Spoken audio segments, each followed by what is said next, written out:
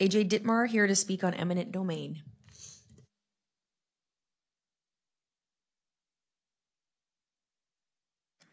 One thing I forgot to bring up earlier is that one of our council members' family home has an address and it will be there forever.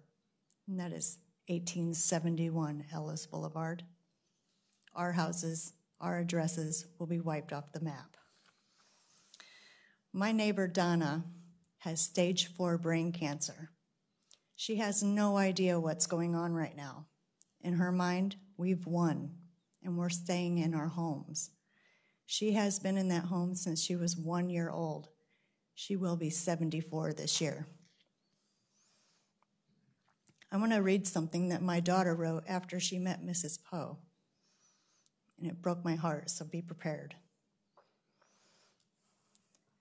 I don't own a lot of things.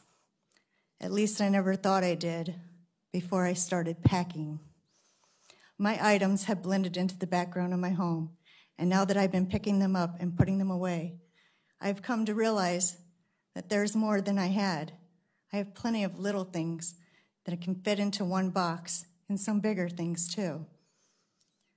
The biggest thing that I could want to pack away would be the home that I grew up in. But that's way too put, big to put in a box. And it's going to be taken anyhow. The things that I own will never look right anywhere else but the place I call home. I've lived in this house since I was two years old, and it holds plenty of precious memories. I can remember being only four and spending time with my siblings and their friends upstairs. The mornings when dad woke me up for school and put me, got me ready for school, and then put me in front of the warm furnace after a bath. Most, most of my happy memories, happiest memories, are with my friends in my bedroom where we would stay up past midnight and scare each other out of sleep. Countless happy memories that I cling to, to the walls of the place that affect the air and the aura as I walk into another room. 17 years of memories in this place. And by the time I'm done packing and ready to leave, I will never see those rooms again in person. When the news came to, the, to me that the city was eminent domain, it really hit, didn't hit me at first. I, was, I felt indifferent. Nothing. And maybe it had been a sense of denial. The boxes, more boxes I get, the more that I put into them, it's starting to come to me as a sense of dread. An impending grief slowly closing in on me, and I know that there's nothing that I can do to stop it.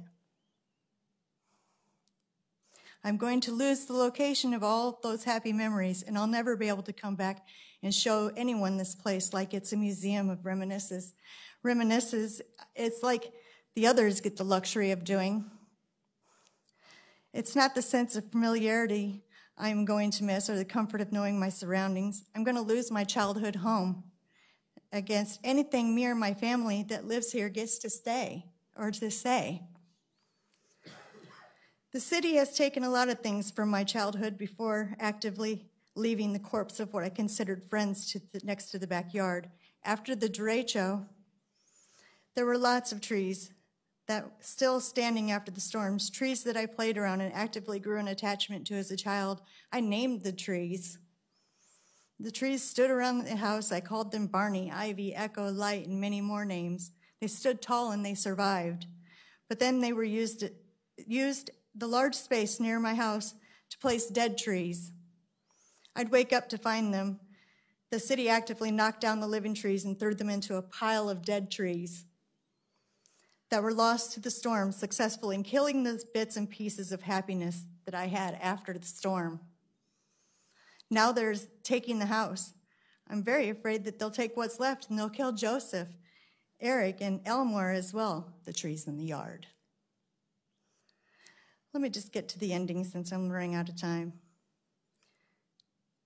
No compensation will ever feel right enough to cover the damage it causes to take someone's take something away considered home and throw me into another talking about biting the bullet and leaving her home you guys are forcing this child who's had this home her entire life. You're forcing her out. And by the way, K I B I T Z C R dot com.